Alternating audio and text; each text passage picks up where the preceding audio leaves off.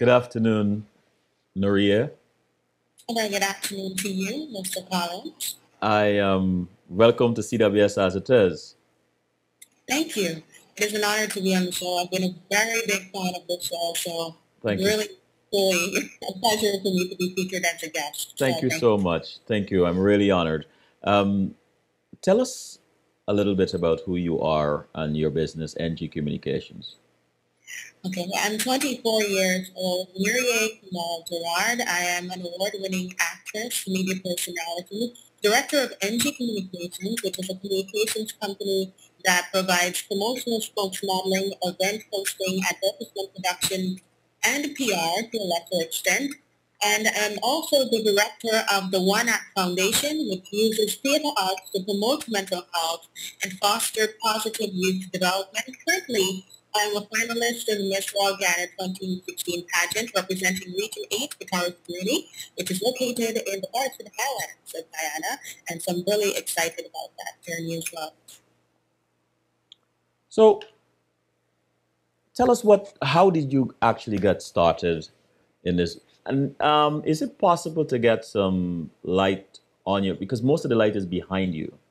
Is it possible to get some on your face? Trying to. Is this, uh, is this better? Um, a little better. Mm. You changed the background, didn't you? I did because it actually got a lot darker than Oh, I see. Well, thanks, thanks for that. Thanks for uh, being so considerate. Yeah. So, how did you actually get get started?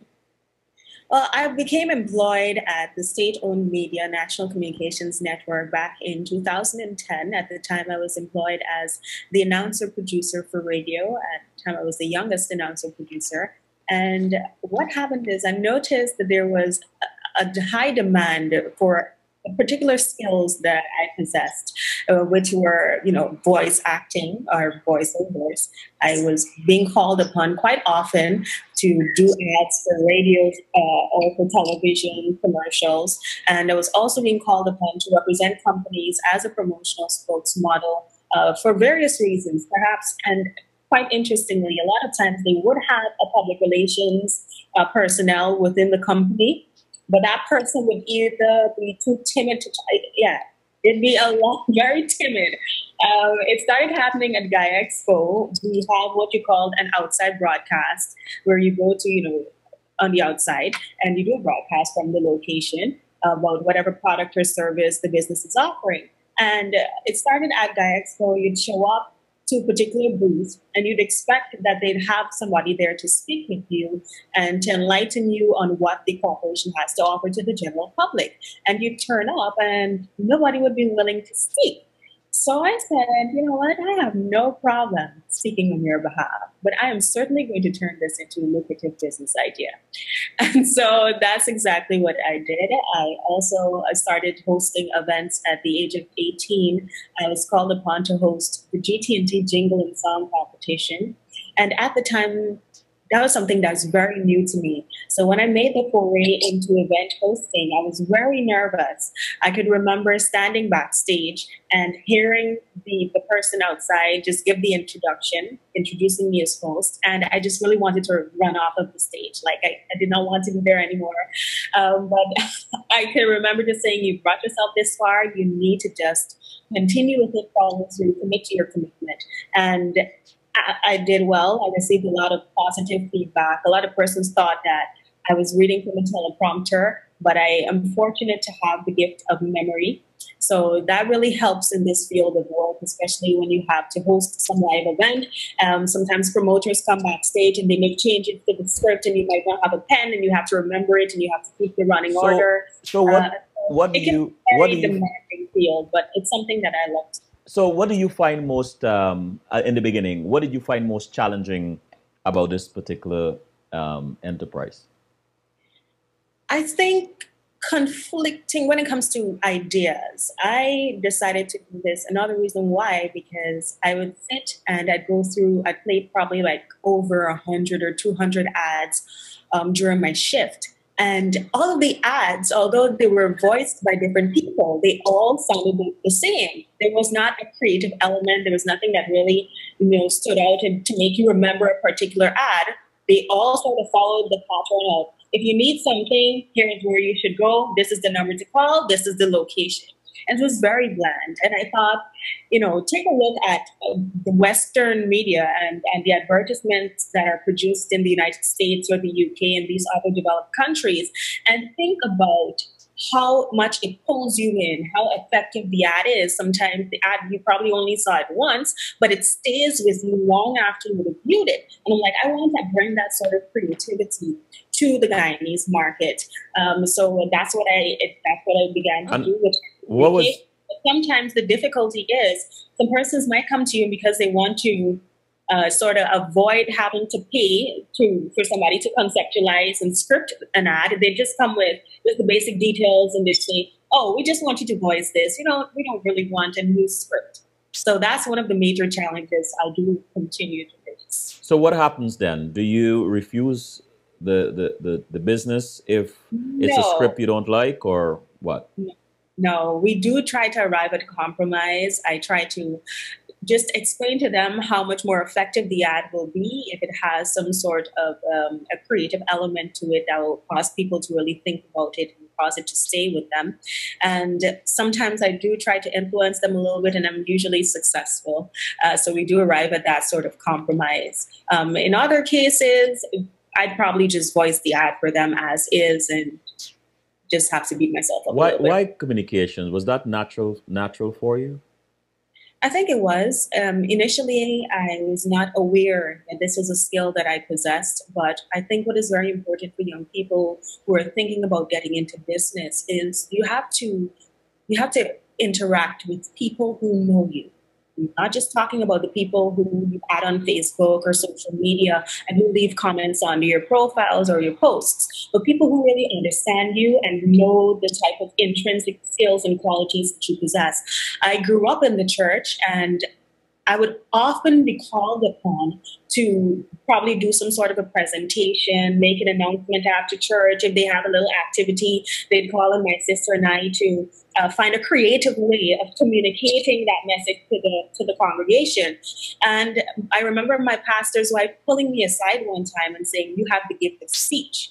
And at first, it didn't make sense to me. Uh, but I think the more I, when, when she said that and she identified that that strength in me, I started to pay more attention to it, and I started to develop it. So I started to listen to how I speak. I recorded myself a few times, and at first, I couldn't stand the sound of my own voice. And I learned eventually some breathing techniques through the theater arts program that I attended, the workshop that was hosted and organized by Ms. Jamadu Nascimentos, when I really got to understand enunciation and pronunciation and how you can intonate your voice and how you can really use your voice in the best possible way. And Dr. Uh, Mr. Russell and Pastor was the one who led that workshop, and he's excellent speaker. He has a really good communication skill. So I was really grateful for that opportunity.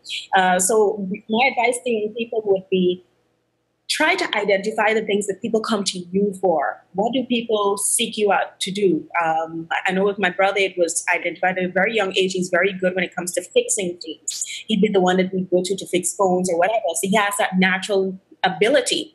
Um, but you have to and you won't always discover it for yourself. Sometimes you have to do a lot of introspection, but also interaction as well. It comes out. It, it comes out in that form. So, um, how do you find customers?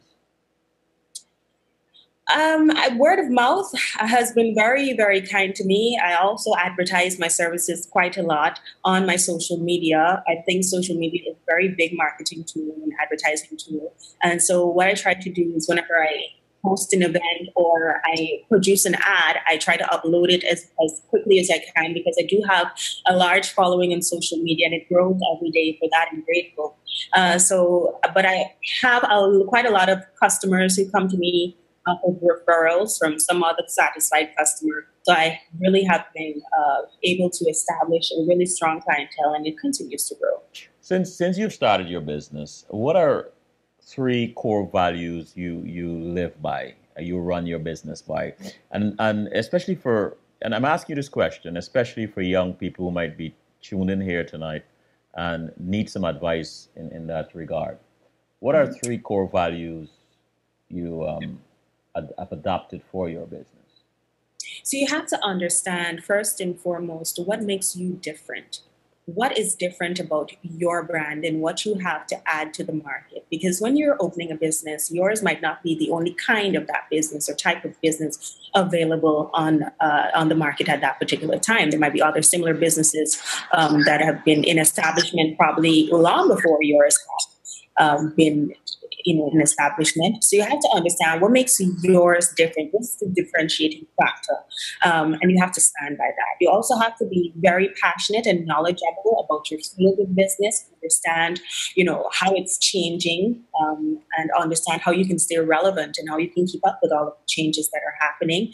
And you also have to be very passionate about what you do passionate and confident in your ability. I know for for me, being a young person and involved in business, I had to learn how to be confident. I had to learn how to sell myself to my clients because at the end of the day, somebody is investing their hard-earned money in you and hoping that you will be able to, uh, pro, you know, provide a service that is of good quality and you do not want to disappoint. You want to ensure that your customers are always satisfied. And I believe as long as you're confident, you're passionate, and you know your market, and you also know what the differentiating factor is and how you can, you know, make your mark and do something different and do something meaningful and impactful, then you will begin to grow. You'll, you'll move from, from uh, you know, step to step, level to level. Your business will grow as well, and you, you'll notice that your clients will be very happy satisfied at the end of the day, and that is very important. Let me go to the chat room. Ralph asked, How did you learn to price your business?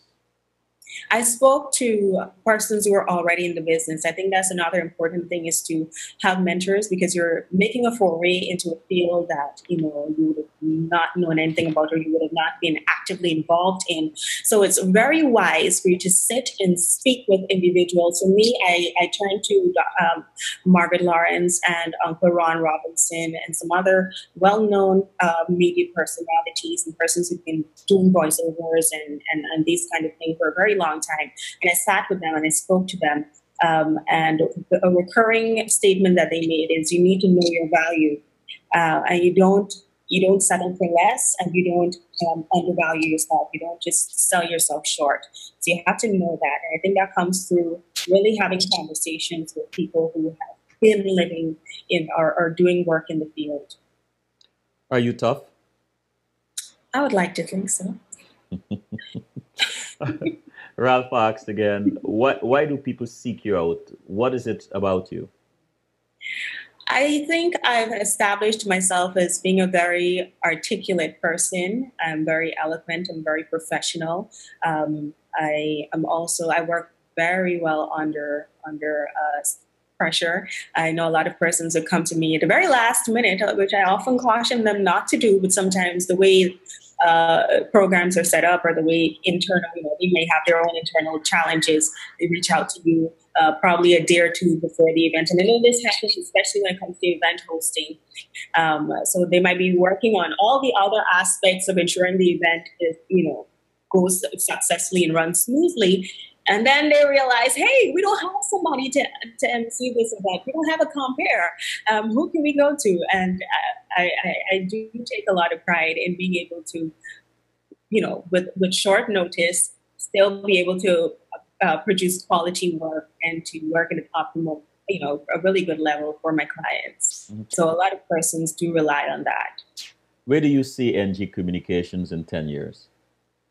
I would like to have a few branches across the region. I'd certainly want to be able to provide employment for more young people in the creative industry. Uh, there's been a cry from creatives about getting respect and being remunerated properly. And I know for a fact that sometimes for creative individuals, um, it's difficult for you to to not do what you love because when you're passionate about something it's the only thing you want to do. But sometimes you know you don't have an opportunity you don't have available space in the market to do the thing that you love. And so a lot of persons have to resort to plan b getting some sort of nine to five, which doesn't really drive them, but they're just going through the motions because they have bills to pay. So I'd like to be able to establish NG Communications to be able to provide employment for other young people in the creative industry um, so that they can really utilize their talent and also not just you do what they love, but be paid well for doing what they love.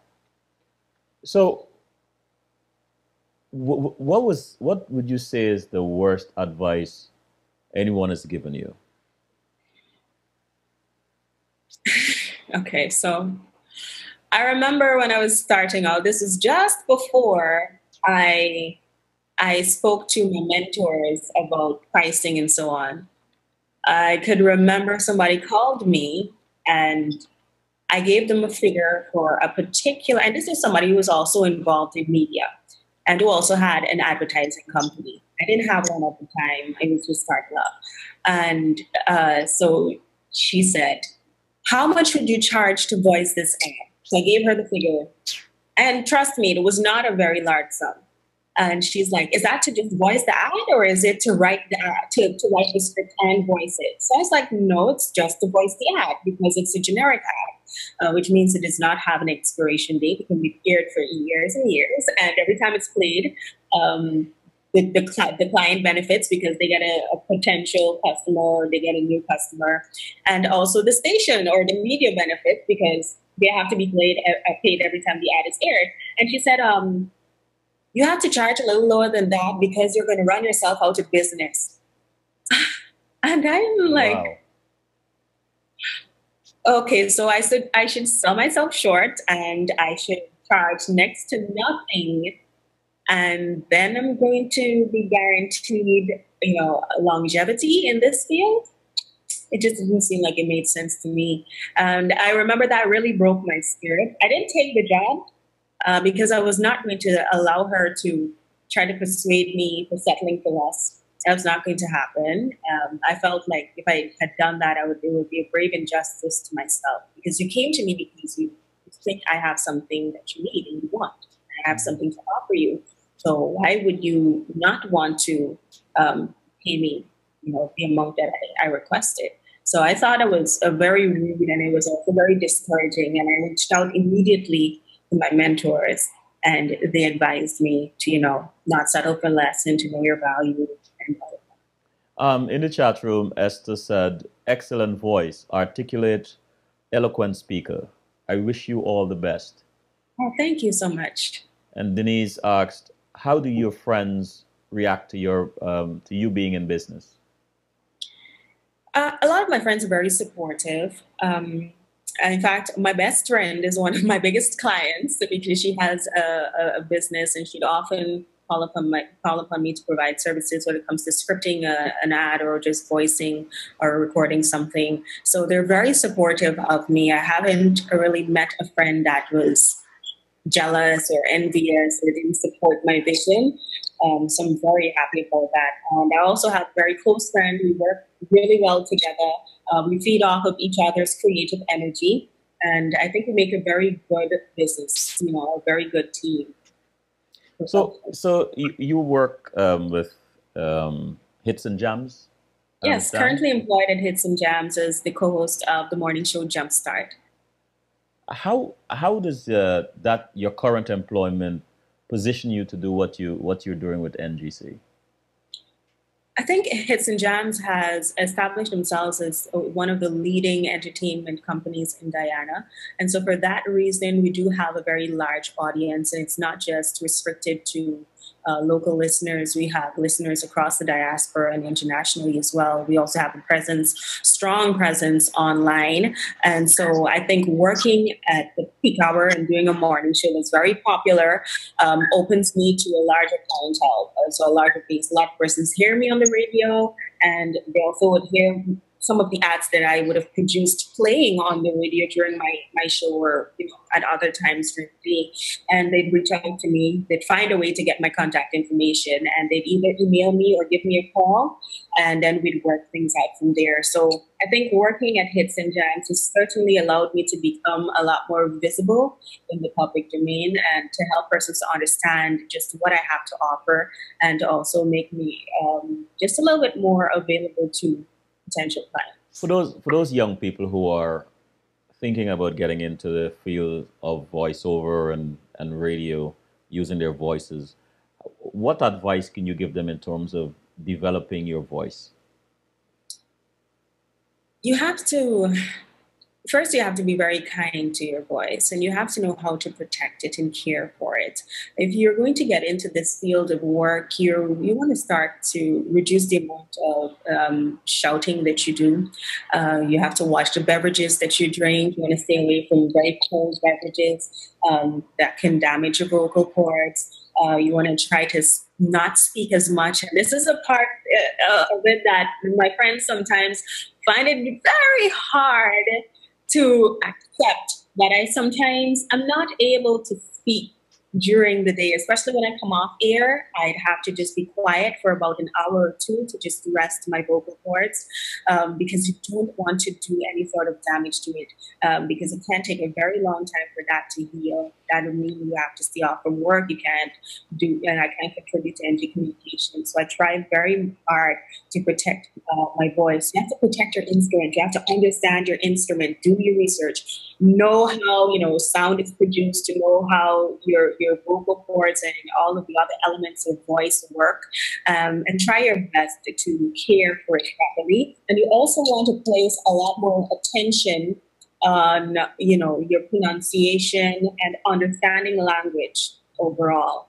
Um, I think when I really became a lot more conscious of the way I speak is when I started acting because you, came to learn doing acting that while you may know where the scene is going or how the dialogue is going to unfold, the audience is discovering it bit by bit. You have to be very deliberate. You have to breathe properly. You have to project and you have to speak clearly. And so, via that, I was able to really understand some, some speaking techniques and all of that. So, you really just have to do your research from now if you're really serious about doing that kind of work. Um, yeah. What, what, what what is um, your deepest fear about doing business in Guyana as a young entrepreneur? Uh, I think my deepest fear is probably not being so in tune with the changes that are happening in the in the marketplace that I become irrelevant, I think. Mm-hmm. So I think I have to con- continuously learn and study and uh, try to ga- garner as much knowledge as I can about the field that I'm in, whether it's radio, or you know NG communication services and communication field and to just really have an understanding of what is required to stay relevant because I think the minute you lose your relevance you lose you begin to lose your business you know? And if you're looking to create wealth and for me my long-term goal of, of not only creating wealth for myself but creating employment for other young people and to create a sustainable business um, that will just be disastrous if i if i were to lose that. So i think that's my biggest fear. Um, also running into probably dishonest customers um, that's another big fear of mine because especially when it comes to um, working with persons who are not in Guyana, uh, where you'd have to probably email a demo of the ad to ensure that they're okay with it before you know we can complete payments and so on. Sometimes some, I've had the unfortunate experience of doing that and then not hearing from the person ever again.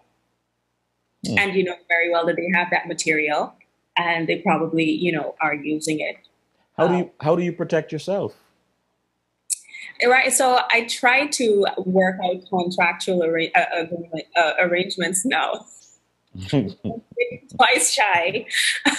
so I, am I'm, I'm working on that actually at the moment with, with our lawyer uh, to just ensure that everything, you know, going forward is bound by contract.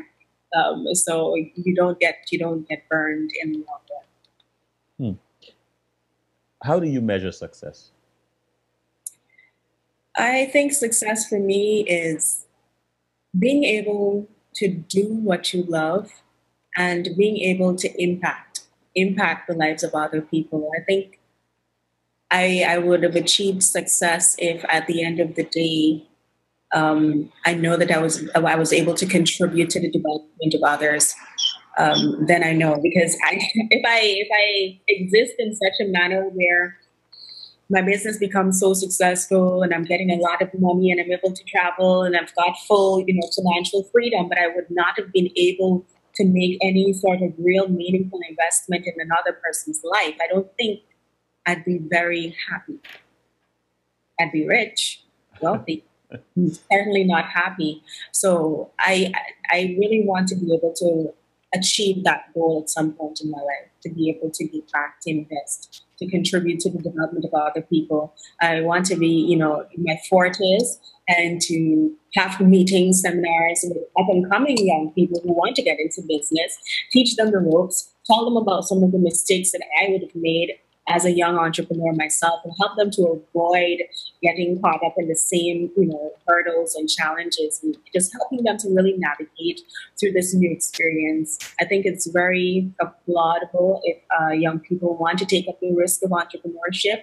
And I think those who uh, have already established themselves as entrepreneurs in the field, those older individuals who have had years of experience, I think it is uh, incumbent upon them, and they do have a very strong responsibility to find a way to nurture youths who want to get into business. So I want to be able to be positioned in, in that respect at some point in my life and to really help young people who want to create wealth for themselves and to have a you know, different sort of life.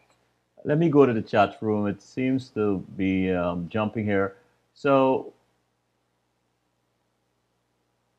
okay, let me see. Denise asks, "How do you how do your friends oh, I asked it before. Um, how can the government help young people in business? Um, I think uh, what the government needs to do, and I will, what I would like for them to do, is to probably just take a little bit of pattern off of the government of the Republic of Zambia, I think in in in Zambia, they had this prevalence of youth unemployment and youth underemployment. And so, what they decided to do to combat that as a solution was to implement a youth development fund.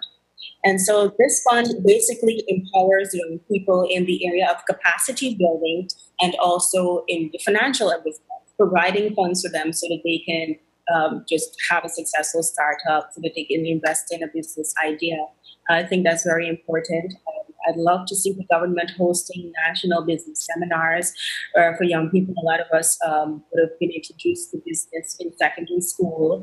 Um, and even before you move on to tertiary level, um, a lot of persons just want to start up a business and they feel that they, you know, they're confident in their, their, their ability or their capacity to do so and to start up a business and have a successful business. Um, I think it's important for the government to train young people not only in the, the in the hard skills, but also some of the soft skills that are necessary for successful um, business uh, establishment of businesses, and also to do a lot of follow up training so that persons can really understand the business market and how to stay relevant and how to continue growing that business that the government will help them to you know establish. And Denise asked again, um, do you see a space for crowdfunding in Guyana?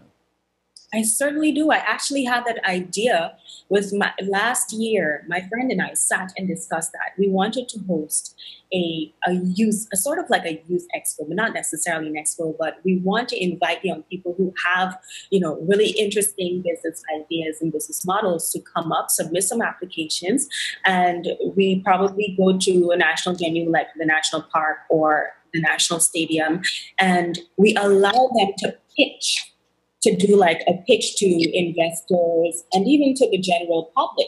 Um, persons would visit their various booths, and as you visit a booth, the potential entrepreneur will explain to you in detail what they plan to do, whether it's a product or service that they want to offer to the local market. And uh, I think at the end of that activity, what you could certainly do is pool the resources that would have been gained from admission or from sponsorship for the event, and then collectively we could probably find a way to vote for, you know, what you think would be the most, you know, successful business idea, and to certainly help that young individual to to to to make, you know manifest that idea and bring that business to life.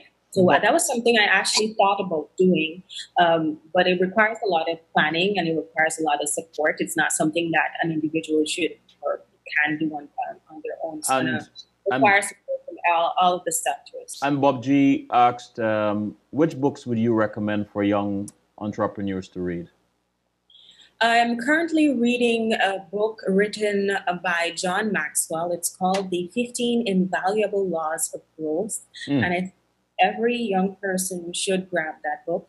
In the book, he speaks about some of the gaps that prevent us from reaching our full potential. And some of those gaps might be the age gap, thinking you're too young, or um, knowledge gap, thinking you don't know everything there is to know.